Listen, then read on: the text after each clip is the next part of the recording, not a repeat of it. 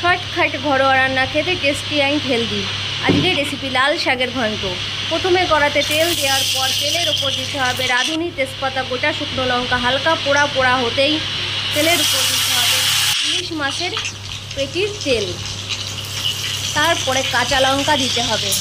ভালো করে খুন্তি দিয়ে নাড়িয়ে চালিয়ে নেওয়ার পর লাল শাকগুলো তেলের উপর ছাড়তে হবে। খুব ভালো করে নাড়িয়ে চাড়িয়ে নিতে হবে।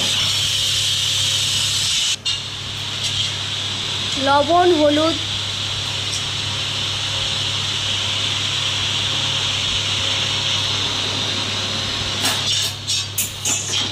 দেওয়ার পর খুন্তি দিয়ে খুব ভালো করে নাড়িয়ে চাড়িয়ে নিতে হবে।